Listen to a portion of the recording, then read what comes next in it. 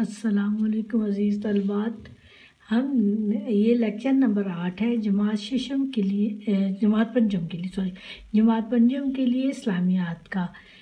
जुमेरात का दिन है चौबीस तारीख बारह, बारहवा महीना और बीस बीस साल। बेटा, जैसे कि आप जानते हैं, हमने इस्लामी भाईचारा, मुसलमानों की आपस की मोहब्बत, यानी मुसलमान आपस में भाई भाई हैं।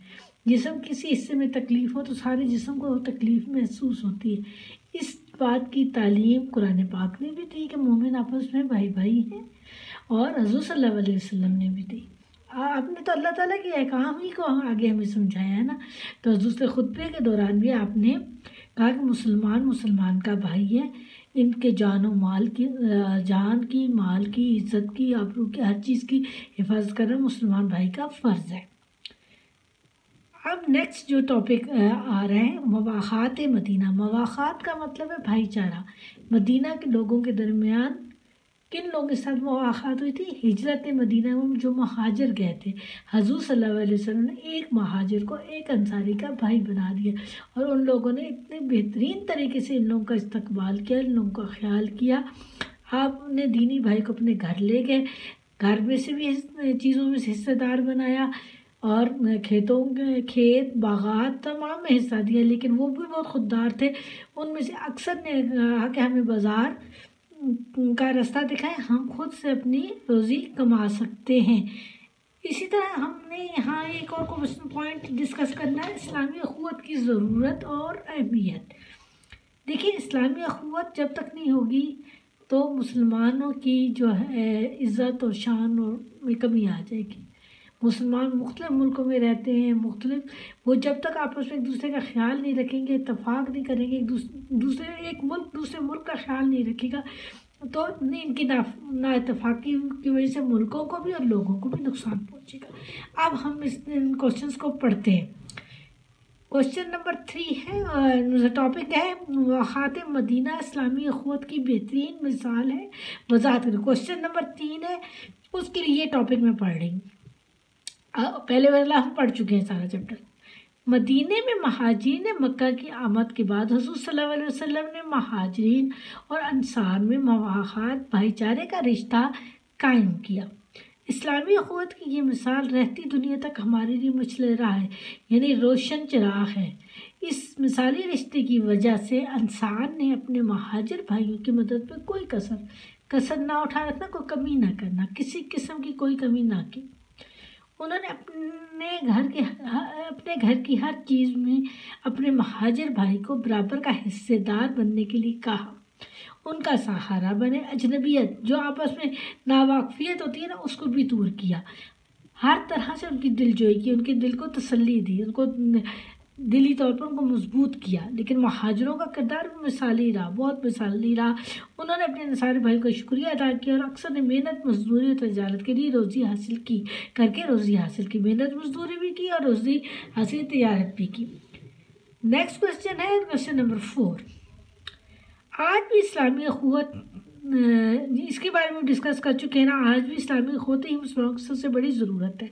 हमें चाहिए कि हम मवाक़ात मदीना की मिसाल को सामने रखते हुए अपने मुसलमान तमाम मुसलमानों को अपना भाई समझे। रहमत और शफकत का बर्ताव करके इनका अमली नमूना पेश करें। उनसे मोहब्बत करें, उनके ऊपर रहम करें और मोहब्बत करें। शफकत मोहब्बत ही होता है। एक दूसरे की मुसीबत में काम आए अपने हाथ और ज़बान। किसी भी अंदाज से किसी को तकलीफ़ ना दें। हमारा भाईचारा ही हमें इस्लाम के दुश्मनों की शर से महफूज रख सकता है। भाईचारा मैंने यही कहा ना, हम हम तरक्की नहीं कर सकते और हम कायम नहीं रह सकते जब तक हम अपने दुश्मनों के ख़िलाफ़ भाईचारे का, को नहीं करेंगे। भाईचारे को अहमियत नहीं देंगे। हमारा माशा ये रिश्ते की बदौलत तरक्की कर सकता है और खुशहाली की राह पर गामजन हो सकता है।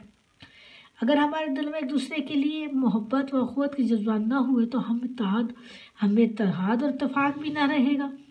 इससे न सिर्फ़ अल्लाह ताला नाराज़ होगा, बल्कि दुनिया में हमारी वक़्त वक़्त नहीं रहेगी, यानी हमारी कोई अहमियत नहीं रहेगी।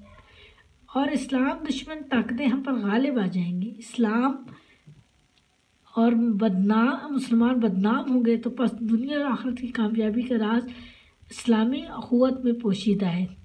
बदनाम होंगे तो फिर इस वजह से हमें मालूम हो जाना चाहिए कि हमारी इज़्ज़त को कायम रखने के लिए सबसे ज़्यादा इस्लामी अखवत ही ज़रूरी है। इसी में छुपा हुआ है हमारी इज़्ज़त और वक़ार जब तक हम एक दूसरे का ख्याल नहीं रखेंगे, अपने हाथ और ज़ुबान से किसी को तकलीफ़ नहीं पहुँचाएँगे, तब ही हम तरक्की कर सकेंगे। और ना इतफाक़ी की सूरत में ना हम तरक्की नहीं कर सकते और इस वजह से हमारी अहमियत ख़त्म हो जाएगी। अब ऑब्जेक्टिव भी करना है, इन दोनों क्वेश्चंस को आपने अटैम्प्ट करना है। ये वाला समझ आया क्वेश्चन नंबर थ्री ये क्वेश्चन है, इस्लामी खुद की ज़रूरत पर ज़रूरत और अहमियत पर एक नोट तहरीर कीजिए। ये पूरा टॉपिक है। इसमें मोहब्बत हर चीज़ के बारे में बताया गया। आपने इसको लिखना है और याद भी करना है। अब आ जाते हैं हम इसका बारूजी हिस्से की तरफ़। क्वेश्चन नंबर पाँच। खाली जगह मुनासिब फ्राज चुनकर पुर करें। इस्लामी अखवत की वजह से एक मुसलमान दूसरे मुसलमान का डैश है। भाई, दुश्मन, दोस्त, भाई, ठीक है? तमाम मुसलमानों को चाहिए कि एक दूसरे से डैश करें, मोहब्बत। इस्लाम से पहले लोग एक दूसरे के खून के प्यासे थे।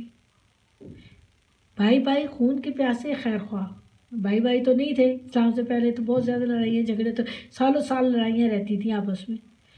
मुस्लिम, क्योंकि वो नापरस होते मुसलमान वो है जिसके हाथ और ज़बान से दूसरे मुसलमान महफूज रहे, ठीक है? मुसलमान मुसलमान का भाई है, बस चाहे कि एक मुसलमान दूसरे मुसलमान पर डैश करे, रहम, सखावा, जुल्म, रहम। ठीक है? ये तीनों क्वेश्चन आज हो गए।